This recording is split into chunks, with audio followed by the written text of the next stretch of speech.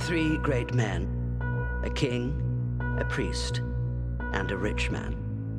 Between them stands a common sellsword.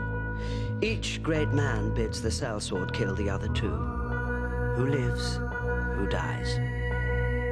Power resides where men believe it resides. It's a trick, a shadow on the wall. And a very small man can cast a very large shadow. You're fighting to overthrow a king. Killing you would send your brother a message.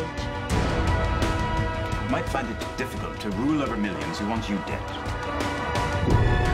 I am Daenerys Stormborn, and I will take what is mine with fire and blood. Anyone can be killed.